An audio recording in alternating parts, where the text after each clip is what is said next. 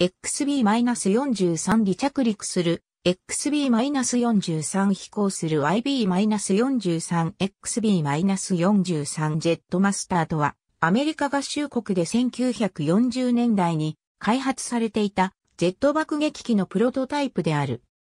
ダグラス社は高速性能獲得のため推進式プロペラなどを採用した XB-42 ミックスマスターを開発していたが、レシプロ動力であったことから正式採用には至らなかった。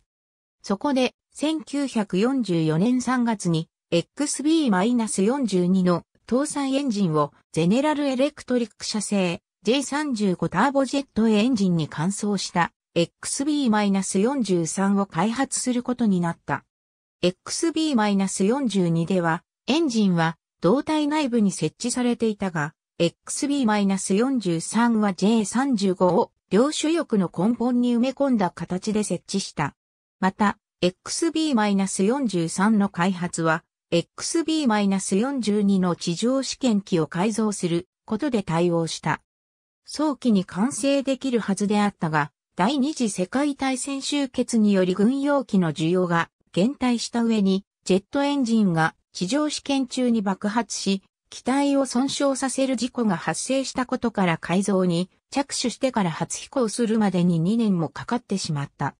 1946年5月17日にミューロックイヌイコで初飛行したが、これはアメリカ初のジェット爆撃機となった。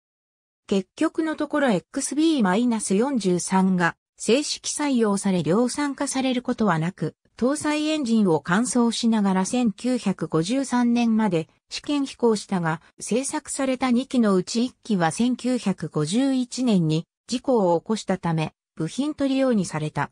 1954年にスミソニアン学術協会に引き渡され、現在では国立航空宇宙博物館で保存されている。 Knaack、Marcelle Size、Post、World War、Two Bombers、1945から1973、 Washington、DC、Office of Air Force History、1988、ISBN 0から16から00226 0から6。ありがとうございます。